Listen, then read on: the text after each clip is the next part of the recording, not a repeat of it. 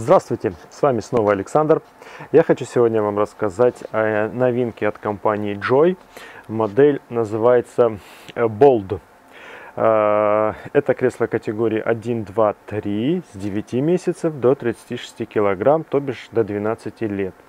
Вот, сегодня я вам о нем расскажу, покажу, что оно из себя представляет, как им пользоваться.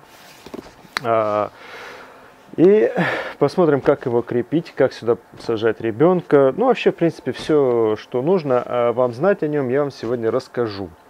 Вот. вот как оно выглядит, можете его визуально оценить.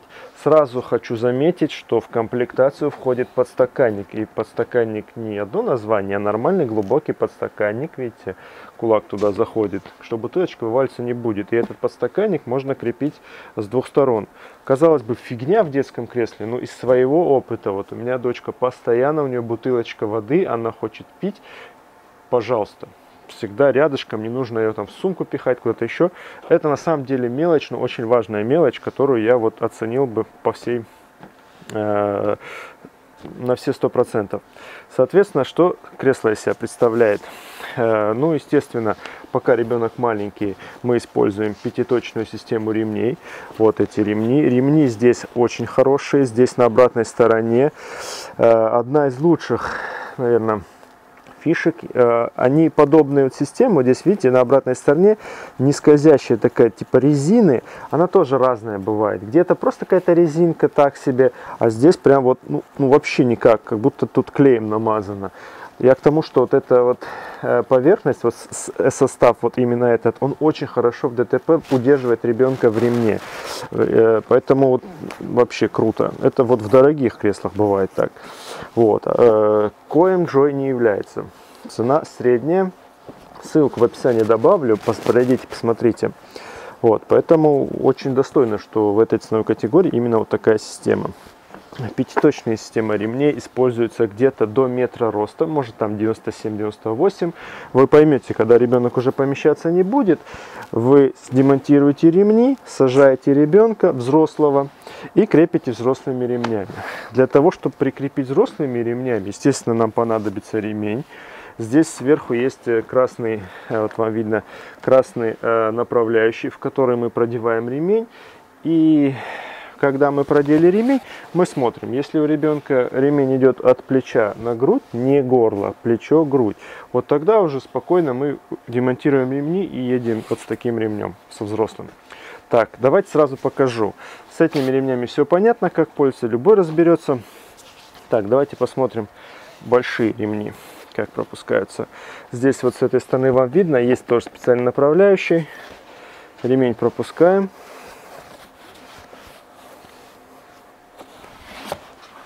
Обязательно проходит здесь. Вот видите, оба ремня. Вот один. И, естественно, здесь вот также второй. А верхнюю часть ремня пропускаем верхним направляющим он там такой зигзагообразный, поэтому до конца давили, и он не выскочит. Все, вот так вот ребенок крепится уже взрослый.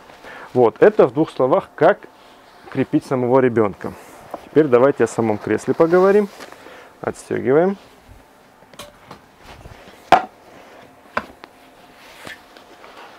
Как ребеночка крепить, мы с вами разобрались.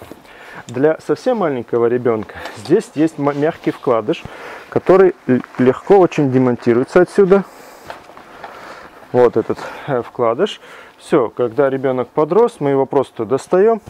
И а, здесь а, высвобождается очень много пространства. Кресло действительно не маленькое, вот вы видите, очень много места. Поэтому это полноценное. И 2-3 категория тоже, с учетом того, что, видите, а, очень большой диапазон регулировки подголовника. И пока еще ремни эти используются, вы видите, что удобно, регулируется вместе с ремнями. Не нужно там их высовывать, там фигней страдать, ничего такого не происходит. Соответственно, в этом плане разобрались. А, что касается комфорта ребенка, отсюда вам виднее, здесь можно у нас вот так вот наклонять. Конечно же, многие родители говорят, ой, там, что за наклон, хочется лежать. Нельзя лежать, когда ребенок едет лицом вперед это небезопасно. Поэтому больше, чем здесь, ну бывает там чуть-чуть, может быть больше, но в основном это вот стандарт вот такого наклона. Задача, чтобы у ребенка голова вперед не падала, а он, облокотившись, хорошо отдыхал. Здесь с этим все нормально, я считаю. Может кто-то не согласится, но я считаю, что вот это вот удобное положение. Вот. Теперь, э, сильные стороны этого кресла. Это кресло с системой Isofix. Сейчас мы все это, вот вам отсюда будет виднее. Система Isofix. И система нормальная, с жестким, железным, полноценным, таким фундаментальным изофиксом.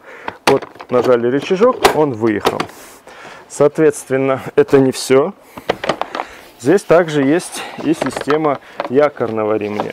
Про якорь я вам в обзоре на другие кресла очень много уже говорил. Это система, которая э, необходима для верхней точки крепления кресла. Изофикс крепить снизу, нужно еще чем-то крепить сверху. Соответственно, здесь для этого есть якорный ремень.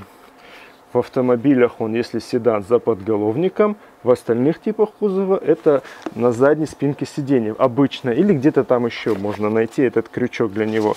По длине он регулируется, под любую машину будет легко настроить. Соответственно, все понятно. Так, здесь единственное, я вот якорь не буду устанавливать, потому что вы все равно не увидите. Поэтому вот на изофикс мы крепим. Вот, и пользуемся. Не забываем опять же про якорь. Но если вдруг в автомобиле нет изофикса, тоже по большому счету не беда. Здесь есть возможность прикрепить это кресло и ремнем тоже. Единственное, что э, сама проводка этого ремня здесь не самая удобная, потому что не очень удобный доступ имеется в виду к заднему проходу вот для ремня. Вот вы видите с этой стороны, вам видно. Приходится вот так вот пропихивать, пропихивать. После чего мы ремень достаем. Вот. И проводим наверх. Нижний ремень у меня вот с этой стороны, а верхний, соответственно, ушел наверх. Э, это если у вас вдруг в машине нет изофикса. Также вы можете параллельно с изофиксом, с якорным ремнем и ремнем еще обычным пропустить. Хуже от этого точно не будет. Можете делать, не париться. Вот. Единственное, что вот в такой системе здесь нет таких вот красные, бывают такие зажимы, э, натяжители, так называемые ремня. То бишь, если я сейчас отстегну от изофикса, оно будет чуть-чуть юлозить. Вот плохо, что здесь нет вот этих вот натяжителей ремня. В некоторых других моделях они присутствуют. И в этой ценовой категории тоже. Но здесь из минусов отмечу, их нет. Вот. Поэтому как есть. Так, э, что касается э, тканей, э, у Joy компании ткань, наверное, назову это как, знаете, минимум, который бы вы хотели видеть в кресле. Она не самая вот супер там приятная, но э, достаточно износостойкая и тактильно, главное, не раздражает. Нормальная ткань, в принципе, все хорошо. И чувствуется, что она реально износостойкая. Да и из опыта уже давно не продаются и простернули оно как новое. Поэтому в плане тканей здесь все хорошо. Так, в принципе, по безопасности на краш-тестах, э, в краш-тестах на Адаке вы его не увидите, там его нет, может быть его еще нет, я не знаю, будет ли оно или нет, но обязательно краш-тесты, естественно, пройдены, и здесь установлены все системы безопасности, которые установлены и в креслах, например, Transcend, у них есть со столика модель, все те же системы, кроме столиков, систем безопасности я имею в виду, что и в моделях, которые прошли краш-тесты и получили отличные оценки. Например, вот эта вот система, она э, Guard Surround Safety называется у Joy.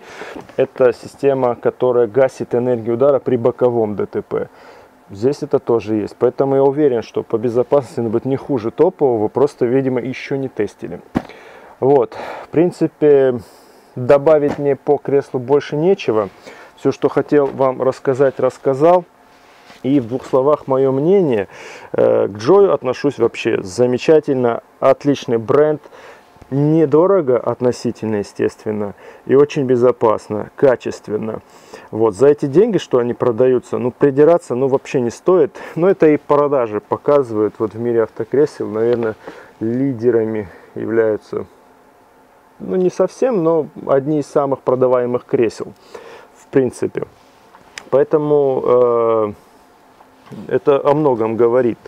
И при выборе детского кресла универсальной категории я недорого. Я настоятельно рекомендую обратить на него внимание. Оно действительно удобное, мы мерили детей, смотрели, всем нравится. Вот, в принципе, добавить мне больше нечего. Если это видео вам было полезно, интересно, ставьте, пожалуйста, лайки, подписывайтесь на канал, обязательно подписывайтесь на канал, это очень мне помогает делать для вас новые обзоры. И большое спасибо Миру Автокресла за предоставленное кресло на обзор, а вам хорошего, грамотного выбора кресла для вашего ребенка. До свидания.